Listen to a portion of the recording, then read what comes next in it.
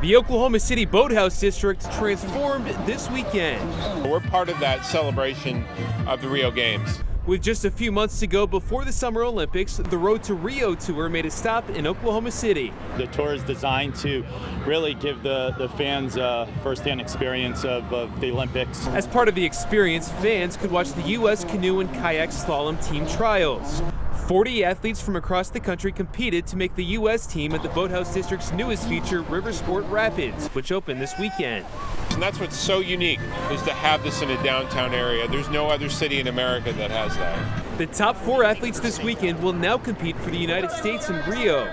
Casey Eichfeld is one of them and will appear in his third Summer Games still floating a little bit from that. Um, but you know, it's just you know now we're we're on the the rest of the road to Rio. We've done the hard part, and now we get to go to kind of enjoy the ride. And the Road to Rio tour will now move to Indianapolis. As for these rapids, they're now open to the public. Reporting in the Boathouse District, Jonathan Cooper, KOCO 5 News.